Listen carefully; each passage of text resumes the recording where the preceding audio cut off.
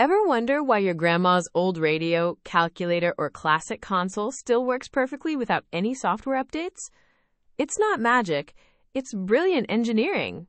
Old electronics are often designed for specific, unchanging tasks. They have a finite purpose, like playing music or basic calculations, without needing new complex features. Their software is typically self contained and highly stable. Once programmed, it performed its core function reliably, rarely needing external interaction or constant new code adjustments. Modern updates often address new security risks, add internet features, or optimize for new hardware. Old devices, disconnected from these demands, simply don't have those constant update requirements. It's a testament to good foundational engineering. These enduring gadgets remind us that sometimes simple and stable is truly the best. Like and follow for more fascinating tech insights.